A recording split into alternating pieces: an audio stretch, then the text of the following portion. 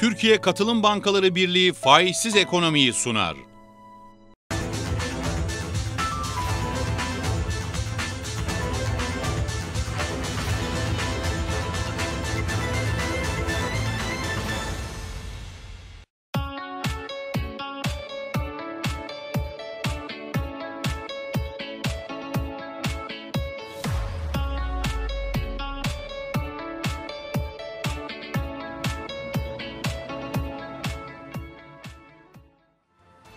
Günler saatler 15 oldu. Finanssız, e, faizsiz ekonomiyle kar- karşınızdayız. Faizsiz ekonomide bugün e, Türkiye'de ve dünyada İslami finansın gelişimini konuşacağız. Hem son süreçte büyüme rakamlarına bakacağız hem de aslında Türkiye'de girişimcilik ekosistemi içinde katılım bankalarının payı nereden nereye geldi ve bundan sonraki süreçte finansman noktasında neler yapılacak hepsini anlatacağız. Albaraka Türk Baş Ekonomisti Sayın Ömer Emeş'le birlikteyiz. Ömer Bey hoş geldiniz Hoş yayına. bulduk. Merhabalar. Teşekkür ederiz. Çok sağ olun. Şimdi biraz aslında e, dünyada yeni bir finans ihtiyacı var. Çünkü hep ardı ardına baktığımızda 10-15 yılda e, tekabül eden bir ekonomik kriz olduğunu görüyoruz küresel sistemde artık. Dolayısıyla yeni bir finans sistemi arayışı var.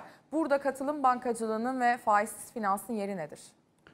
Şimdi bu 2008 e, finansal krizinden sonra özellikle global finans krizinden sonra e, İslami finansın ciddi bir alternatif olma e, noktasındaki gerek akademik gerek iş dünyası tarafındaki tartışmalar çok yoğunlaştı.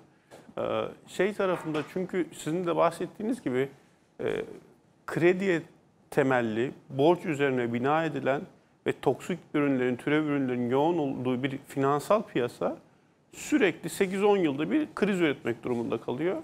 Bunun aslında çok canlı örneğini şu anda günümüzde görüyoruz.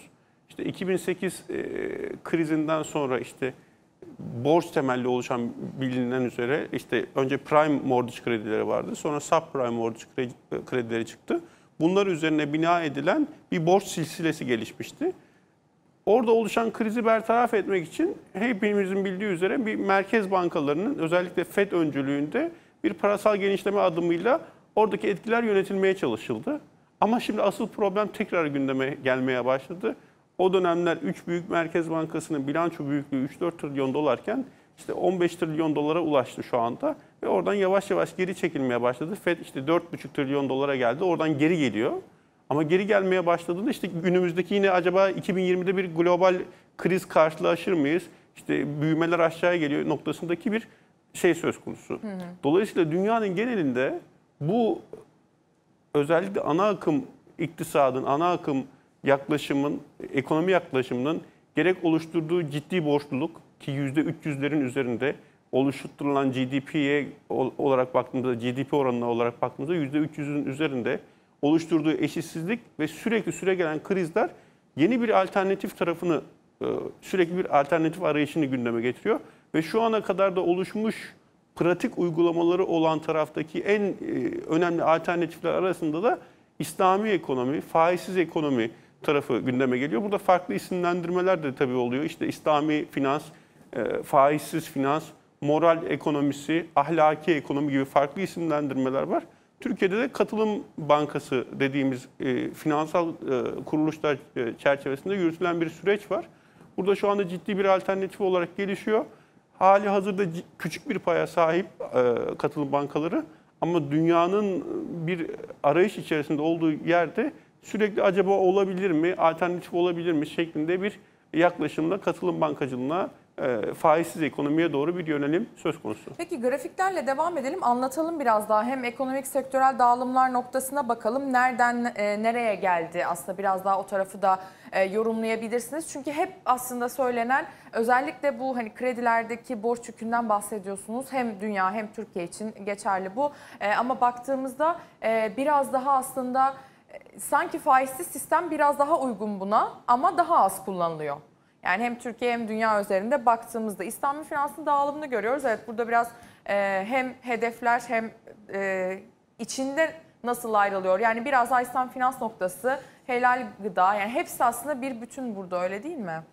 Yani şöyle tabii insanların finans tarafındaki ihtiyaçları da diğer taraflardaki ihtiyaçları da tabii bu finans tarafındaki ihtiyaç temelde e, Müslümanların e, finansal ihtiyaçlarını kendi hassasiyetlerine uygun bir şekilde giderebilme ihtiyacıyla çıkmış bir taraf. Diğer taraflar da tabii gıda tarafında da yine e, insanların ihtiyaçları, Müslümanların ihtiyaçları var. İşte medya tarafında, turizm tarafında. Burada o dağılımlar e, gösterilmiş durumda ama baktığımızda en büyük e, şu anda pastayı bu dağılım içerisinde finans tarafı Evet, oluşturuyor. finans ve. Ve şu an itibariyle e, datalara baktığımızda 2012'den 2017'ye kadar yıllık ortalama %7 büyümesi gerçekleştirmiş İslami finans tarafı.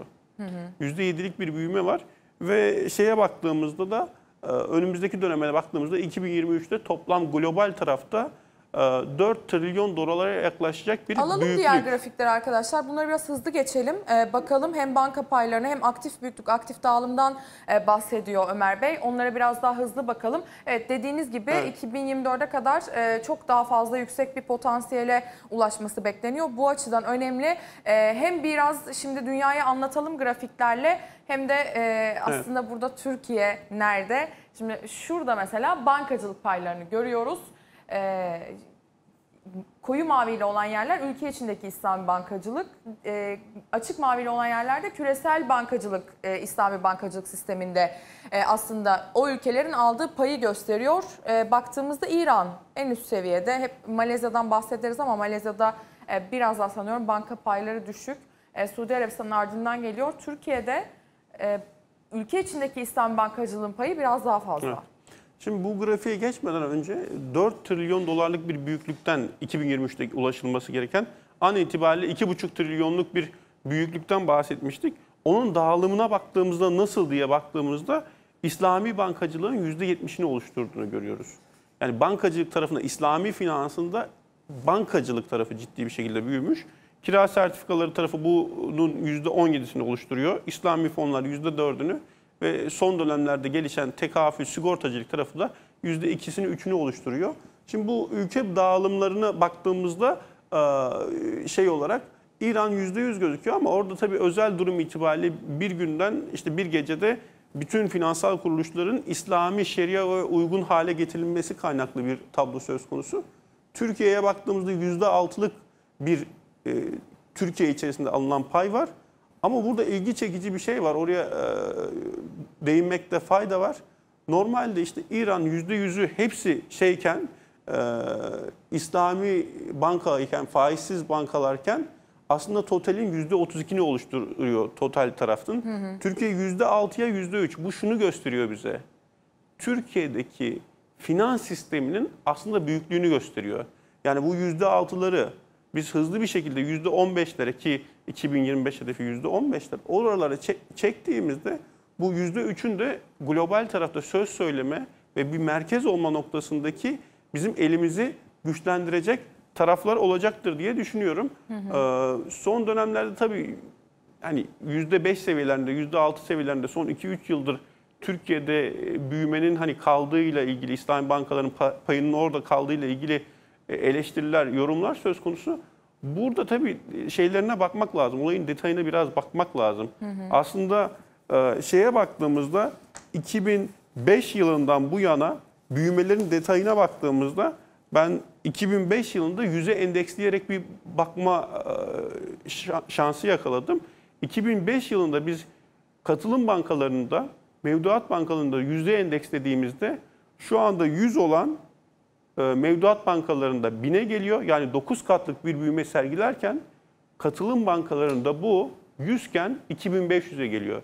Yani 23-24 katlık bir büyüme söz konusu 2005 yılına göre. Dolayısıyla ciddi bir büyüme var. Ee, pazar payı da 2.4'ten 2005'ten bugüne %5.5'lara gelmiş. Son birkaç yılda yaşanan tablo nasıl gelişti peki? Türkiye'deki neden hani %5.5'larda kaldık son birkaç yıldır? İki tane aslında temel sebebi var. Bir tanesi malum olduğu üzere bir e, bankanın ki o zamanlarda büyüktü Bankasya'nın e, sektörden çıkışıyla gerçekleşen bir süreç var.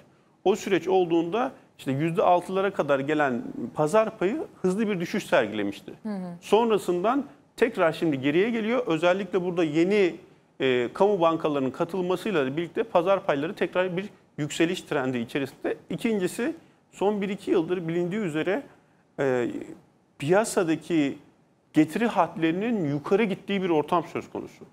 piyasadaki faiz hatlarının, getiri hatlarının yukarıya gittiği ortamda katılım bankaları olarak bizim modelimizde dağıttığımız kar payı giderleri geç adapte olduğu için bu ortam bizi haliyle negatif etkiliyor. Dolayısıyla önümüzdeki dönem çok yüksek ihtimalle şu anda bir bugün de Sayın Murat Uysal'ın konuşması söz konusuydu. Oradaki kredi büyümelerinden gerek faizin yönüyle ilgili açıklamaları da oldu.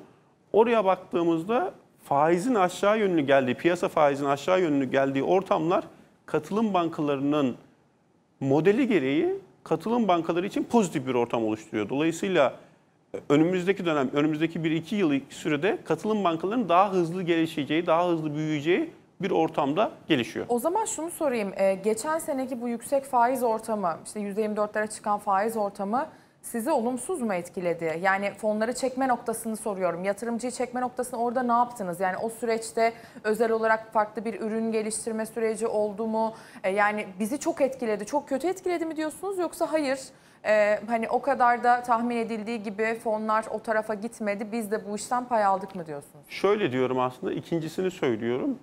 Aslında daha hızlı büyüme imkanımız varken bu büyümenin sınırlandığı bir ortam gelişti. Yani şöyle ki piyasadaki faiz hatları çok yüksek yükseldiğinde biraz modeli de anlatmakta fayda var belki burada.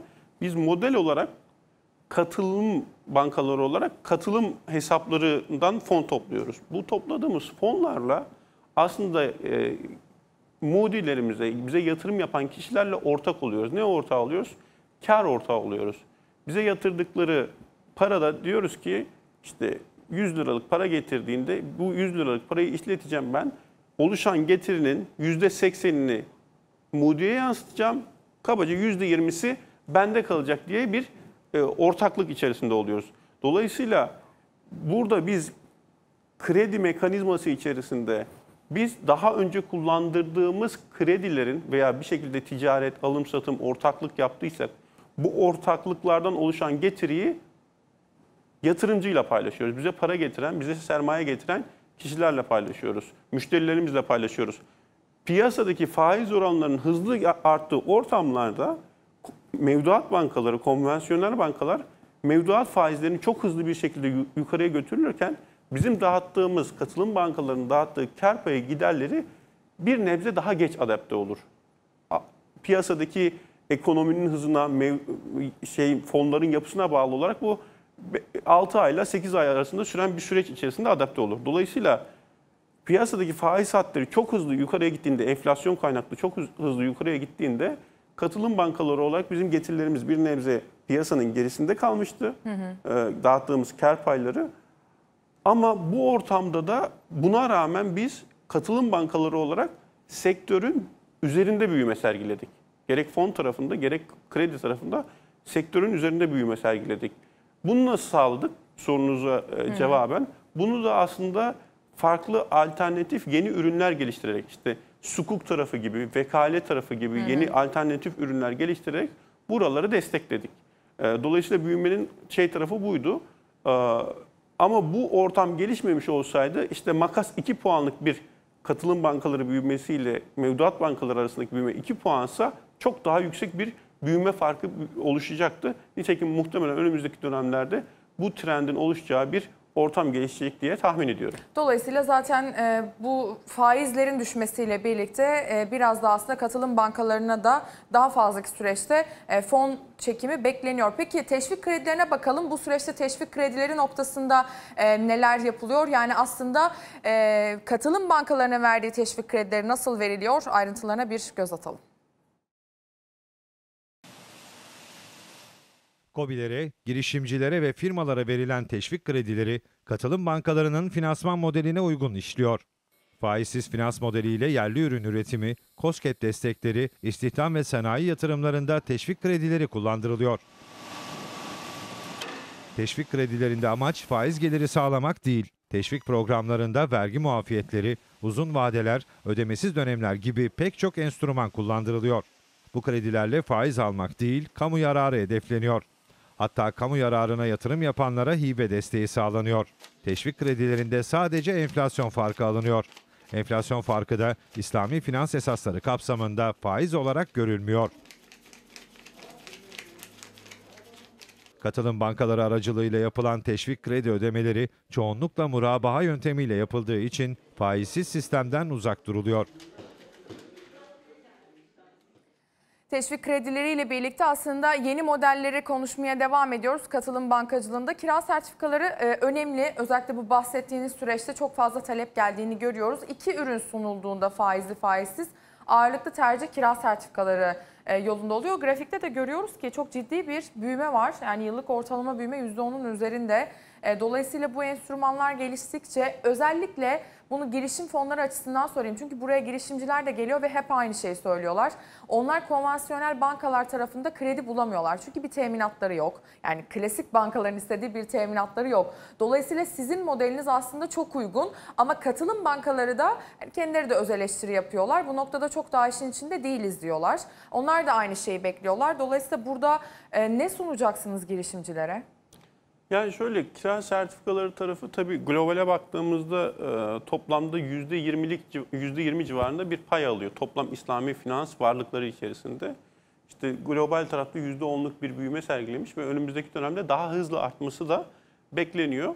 Tabii e, bunun yansımalarını Türkiye'de de görüyoruz. İşte gerek müşteriye e, piyasa getirilerine paralel getiriler sunma noktasında sukuk bir enstrüman. Tabii sukukun da farklı farklı türleri var. İşte yönetim sözleşmesine dayanan, ortaklığa dayanan, işte diğer türleri olan farklı farklı türleri var sukuk tarafının da. Ee, Dolayısıyla kira sertifikaları tarafındaki ortam böyle. Girişim şey tarafına baktığımızda tabii bu kira sertifikalarının Türkiye yansımasında da şöyle bir konu var. Onu da söylemekte fayda var. Özellikle son dönemlerde e, kamunun da ciddi desteğiyle işte kamuda kira sertifikası, hazine borçlanma tarafında işte e, bir e, kira sertifikası ihtiyacı söz konusu oldu. Malum ekonomik e, gelişmeler itibariyle kamunun borçlanma ihtiyacı arttı ve burada bir alternatif olarak kira sertifikalarını daha fazla kullanmaya başladı kamu. Burada da dolayısıyla katılım bankaları da kamunun finansmanını da yaptıkları yatırımları da kira sertifikası yoluyla yaptıklarını söylemek lazım. Dolayısıyla bir müşteri bacağı var, müşteriye sunulan kira sertifikaları var. Bir de kendi fonlarının kamuda, e, kamu finansmanında değerlendirme bacağı var. İki bacağını söylemek lazım. Girişimciler tarafı apayrı bir konu. Girişimciler tarafında şunu söylemek lazım. Söylediğiniz şey gerçekten önemli bir konu. Çünkü endüstri devrimlerine baktığımızda işte Endüstri 1.0, Endüstri 2.0, 3.0, 4.0 bu değişimlerin hepsi gerek ekonomik tarafta, gerek sosyolojik tarafta, gerek finans tarafında yansımaları oldu bunların. İşte Endüstri 1.0 ile gelişen sürece baktığımızda oluşan e, kredi temelli, borç temelli ve büyüklerin daha pozitif ayrıştığı bir finans mekanizması e, şu an itibariyle yeni gelişen Endüstri 0 ile birlikte, Endüstri 4.0 ile birlikte gelişen teknoloji ve girişimcilik tarafındaki ihtiyaçlara çok da cevap veremiyor. Bunun da çünkü şundan dolayı sizin bahsettiğiniz şey burada önemli. Çünkü mevcut finansal paradigma verdiği kredinin bir şekilde bir nakit akışıyla oluşmuş bir nakit akışıyla ve bir teminatla desteklenmesi noktasında bir yaklaşım söz konusu global tarafta. Ama Endüstri 4.0 ile birlikte gelen artık yeni yeni belki bir teknoloji girişimciliği sınıfı oluştuğunu bile söylemek mümkün. Bu teknoloji girişimciliği sınıfının da artık büyüklerle rekabet etme, yeni bir ürün geliştirebilme, yeni bir hizmet geliştirme, çok hızlı yayılma gibi ciddi bir avantajı avantajları söz konusu. İşte iş modelleri bile artık daha ortaklığa dayalı şekilde gelişiyor. İşte bakıyoruz mesela e, firmaların hiçbir şekilde araçları yok ama en büyük araç filosuna sahip oluyorlar. Veya otel tarafında otelleri yok, en büyük işte otel zincirini bir şekilde kurabiliyorlar. Nasıl yapıyorlar bunları? Ortaklıklar yoluyla. Dolayısıyla iş modellerinin de ortak kaynakla kullanıldığı, ortaklığın daha önümüzdeki dönemlerde gelişeceği bir ortam söz konusu olacak. Bunda da finansman bacağı önemli bir bacak. Baktığımızda teknoloji tarafının gelişen ülkelere baktığımızda özellikle e, girişim sermayesi tarafının geliştiğini görüyoruz. Şurası pozitif. Katılım bankalarının da bizim Türkiye'ye baktığımızda bu noktada ciddi ataklarının, atılımlarının olduğunu görüyoruz. Gerek girişimcilik merkezleri noktasında yapılan hamlelerde, gerek kendi içlerinde kurdukları girişimcilik platformları noktasında, gerek girişim sermayesi tarafında yani bizatihi onlara fon aktarma noktasında son dönemlerde ciddi bir eğilim söz konusu. Burada yatırımların yapıldığı da ah, e, ortada. Son işte geçen haftalarda bile yatırım yapan bankalar oldu. Dolayısıyla katılım bankaları burada gerek finansal teknolojiler tarafı gerek diğer startupları desteklemek noktasında ciddi bir atılım içerisindeler. İşte girişimcilik merkezleri olan, bu girişimcilik merkezlerinde salt finansman da sağlamıyorlar aslında. Finansmana ek olarak işte burada mentörlük, bunun yanı sıra onlarla işbirliği, onlar ürün geliştirdiğinde onların ilk müşterisi olma, onları kullanma gibi ciddi avantajları da var. Eğitimler gibi ciddi avantajları var. Sonrasında belli ölçüye gelen şeyler içinde, startuplar içinde, girişimciler içinde onlara ortaklık yoluyla onları daha yukarıya taşımakla ilgili bir tablo söz konusu oluyor. Eğer biz teknoloji tarafında, işte Endüstri 4.0 tarafında, e, yeni teknolojiler tarafında bir atlamak istiyor, bir seviye atlamak istiyorsak bunun finansman bacağında oturup modellememiz salt katılım bankacılığı perspektifinde değil, katılım bankacılığı da burada ciddi bir e, mekanizma olacak. Bütün paydaşlarıyla modellememiz gerekiyor e, ki ileri daha ileriye gidebilelim bu noktada. E, işin özünde girişimler büyüdükçe aslında katılım bankaları yani orada büyüyen bir ekosistem var. Burada da aslında bir kazan kazan sistemi ilerleyebilir. Şimdi kamuda kamudan birkaç haber verelim. E, özellikle son dönemde e, biliyorsunuz iki hafta önce e, Başkan Recep Tayyip Erdoğan'ın açıklamalarını paylaşmıştık katılım finansmanı ile ilgili. E, özellikle Türkiye'de daha fazla e, ilgi gösterilmesi noktasında. Şimdi e, faizsiz bankacılık için yeni bir komite kurulması gündemde. İlahiyatçılar ve e, faizsiz ekonomi uzmanları bir komite kuracak ve bu komiteler katılım bankalarında hizmet verecekler. Ayrıntılarına bakalım. Faizsiz bankacılığa, ilahiyatçı veya faizsiz finans uzmanlarından oluşan danışma komiteleri geliyor. Katılım bankalarında kurulacak komiteler, müşteriyle katılım bankaları arasında yaşanabilecek faizsiz bankacılıkla ilgili sorunlarda devreye girecek. Resmi gazetede yer alan düzenlemeye göre komitelerin amacı faaliyetlerin faizsiz bankacılık ilke ve standartlarına uygunluğunu sağlamak olacak. Yönetim kuruluna bağlı olarak faaliyet gösterecek komiteler en az 3 üyeden oluşacak. Öte yandan bankayla müşterisi arasındaki uyuşmazlıklar müşterinin yazılı talebiyle danışma komitesi gündemine alınabilecek. Yazılı talebin tarihini izleyen 30 gün içinde başvuru karara bağlanacak. Müşteri uyuşmazlık konusunda danışma komitesinin aldığı kararı ise 15 gün içinde danışma kuruluna götürme hakkına da sahip olacak. Bankalar 6 ay içinde uyum sağlamak zorunda olacak. Cumhurbaşkanlığı Finans Ofisi de faizsiz ekonominin yaygınlaştırılması için çalışmalar yapıyor. Burada önemli bir nokta faizsiz emeklilik sistemi. E, katılım sigortacılığı nasıl gelişecek? Bunun için neler yapılacak? Ayrıntılara bakalım. Hükümet faizsiz emekliliğin yaygınlaştırılması için kolları sıvadı. Başkan Recep Tayyip Erdoğan faizsiz finans ürünlerine yönelik güçlü talep potansiyeline dikkat çekerken Cumhurbaşkanlığı Finans Ofisi de bu alanda kapsamlı bir çalışma başlattı. Buna göre katılım sigortacılığını teşvik eden mevzuat ve kurumsal altyapı oluşturulacak. Geliştirilecek yeni stratejiyle faizsiz emeklilik sistemine yönelik ürün ve hizmet çeşitliliği artacak. Faiz hassasiyeti taşıyanlar için katılma hesaplarına, altına, katılım bankacılığı ilkelerine uygun hisse senedi, altın, kıymetli madenlere, kira sertifikalarına dayalı emeklilik yatırım fonları oluşturulacak. Öte yandan katılım bankacılığı yeni dönemde küresel finans pazarından daha fazla pay alacak. Kalkınma ve yatırım bankalarının faizsiz finansman yöntemlerini kullanmalarına yönelik yasal altyapı çalışması tamamlanacak. Kira sertifikası ilaçlarının kamu yatırımlarının finansmanında da kullanımı artırılacak. Faizsiz finans denetim standartları oluşturulacak. Katılım sigortacılığını teşvik edici mahiyette mevzuat ve kurumsal yapı geliştirilecek ve her tür risk grubuna hitap eder şekilde yaygınlaştırılacak. Sayın Ömer Emeş'le konuşmaya devam ediyoruz. Aslında her iki hamlede e, yani evet önemli ama işin kamu tarafından ve Cumhurbaşkanlığı tarafından desteklenmesi açısından daha büyük önem taşıyor. Çünkü genelde hangi sektöre kamu tarafından destek verildiğini e, görsek sonrasında çok büyük rakamlar alıyoruz büyüme noktasında. E, bu açıdan nasıl değerlendirirsiniz? Yani şöyle gerek işte az evvel konuştuğumuz e, ülke içerisindeki İslami e, finans tarafı daha büyük olan, daha gelişmiş olan işte %20 üzerinde olan ülkelere baktığımızda işte Malezya'ya bakalım, diğer ülkelere bakalım. Bunların kamu tarafından ciddi desteklendiğini ve bu desteklerin neticesinde bu pazar büyüklüklerine geldiklerini görüyoruz. Dolayısıyla son dönemlerde özellikle kamunun bu anlamda sektöre girmesi, işte e, regülasyonlar, düzenlemelerle bu alanı desteklemesi önümüzdeki dönem katılım bankacılığın büyümesine ivme katacaktır şüphesiz. Hı hı. Burada e, tabii ki danışma e, komiteleriyle ilgili, kurullarıyla ilgili şunu söylemekte fayda var.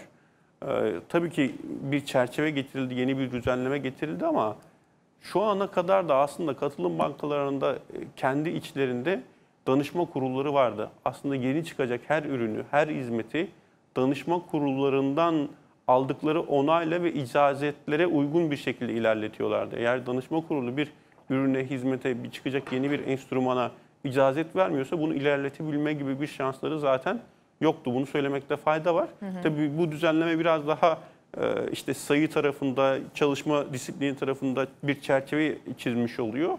Ama mevcutta da bu böyle bir uygulama olduğunu söylemekte fayda var. Diğer tarafından bu tekafül tarafında, sigorta tarafında da şuna değinmekte fayda var. Ee, gerçekten de bir İslami finans sisteminden ya da katılım finans sisteminden bahsedeceksek, Türkiye'de katılım bankacılığı konuşuyoruz ve finans tarafında katılım finansı olarak bu çerçevede biz değerlendireceksek aslında bankacılık bunun sadece bir bacağı. En önemli bacaklarından bir tanesi olacak, olmaya devam edecek şüphesiz. Ama bunun emeklilik tarafında, yatırım fonları tarafında, girişim sermayeleri tarafında bir desteklenmesi gerekiyor. Ve biz Türkiye'nin eğer önümüzdeki dönemde e, bir şekilde finans merkezi olması ve İslami finans merkezi olması noktasında bir stratejimiz, bir isteğimiz varsa bu altyapıların desteklenmesi ve kamunun da bu noktada son dönemlerde gösterdiği teşviği arttırarak devam etmesi önemli olacaktır diye düşünüyorum. Peki e, katılım sözlüğünü de açalım. Bu hafta katılım sözlüğünde selam sukuk kavramını aldık. Sukuk üzerine belki birazcık e, konuşmak gerekebilir. Ayrı tabii hani sukukun farklı farklı e, çeşitleri var. Finansman ihtiyacı duyan e, bir kişinin, bir işletmenin belli bir e, peşin bedel karşılığında ileride teslim etmek için belli bir mal satması aslında biraz da faizsiz e, şekilde bir finansman açığını kapatma yöntemi olarak da görülüyor. Dolayısıyla bu sukuk çeşitlerinin e, artması da biraz sukukun gelişmesine böylece sizin enstrümanlarınızın gelişmesine de katkı sunuyor sanırım. Ya sukuk daha ziyade kira sertifikası olarak çevriliyor. Hı hı. Ama sukukun farklı farklı modelleri var. Yani kira sözleşmesine dayalı sukuk olabileceği gibi yönetim sözleşmesine, ortaklığa, işte e, gösterdiğiniz selame dayalı hı hı. sukuk enstrümanları olabilir. Tabii şu ana kadar uygulama yöntemiyle e, daha ziyade kiraya dayalı taraf geliştiği için kira sertifikası gibi bir adlandırma söz konusu. Burada e, sukun kökenine baktığınızda saktan geliyor işte kıymetli evrak, belge oradan geliyor isim olarak. İşte çekler, senetler gibi bir çoğulu sukuk, bir anlamı söz konusu. Ee, tabii e, baktığımızda işlevsel olarak şu anda kullanılan yöntem olarak biraz İslami tahvil bonu gibi bir aslında fonksiyonu icra ediyor. Hı hı. Bu, bu taraflarında gelişmesi az evvel bahsettiğim gerek müşterilere alternatiflerin sunulması gerekse kamu ihtiyaçlarında, kamu finansmanı ihtiyaçlarında bankalar yoluyla kamunun finansmanı noktasında yeni enstrümanlar olması bu alanları geliştirecektir. Ee, dolayısıyla şey e, az önce bahsettiğim gerek emeklilik tarafı olsun, gerek sukuk tarafı olsun, gerek yatırım fonları olsun bütün alanlarla bu e, yapının, bu ekosistemin desteklenmesi şart. Peki, e, şimdi haftanın kitabını da gösterelim. E, Türkiye Katılım Bankaları Birliği tarafından yine yayınlanan Katılım Finans Profesör Doktor Sayın İshak Emin Aktepe'nin kitabı. Başlangıç seviyesinde geçen hafta gösterdiğimiz kitap biraz daha hazine tarafında çalışanlar için bir yol gösterici kitaptı ama Katılım Finans tarafında özellikle biraz daha aslında bu daha başlangıç seviyesinde bir kitap. Yani finansman modelleri nasıl ilerliyor, bu finansman süreçleri konvansiyonel banka bankacılıkla karşılaştırıldığında nasıl e, işleniyor ve tabii belki işletmelerin de okuması gerek aslında bu modelleri. Çünkü girişimciler özelinde de bence çok faydalı. E, girişimciler de bu noktayı çok iyi bilmiyorlar. Yani nasıl e, sunuluyor bu finansman modelleri. E, bu kitap biraz daha başlangıç seviyesinde anlatmış. Yol gösterici olabilir. Buradan tavsiye ederim. Türkiye Katılım Bankaları Birliği'nin e, yayınlarının e, İshak Emin Aktepe, Pro- Profesör Doktor Sayın İshak Emin Aktepe'nin Katılım Finans kitabını da e, bugün buradan tanıtmış olalım. Ömer Bey çok teşekkür ediyorum. Ben teşekkür ederim. Değerlendirmeleriniz için bugün Faizsiz ekonomide Albarka Türk Baş Ekonomisti Sayın Ömer Emeç'i ağırladık ve Türkiye'de katılım bankacılığının gelişimi için nasıl enstrümanlar geliştirilebilir? Dünyadaki sistem nasıl? Türkiye bunun neresinde? Hepsini konuştuk. Burada noktalıyoruz. Yeniden görüşmek üzere. Hoşçakalın.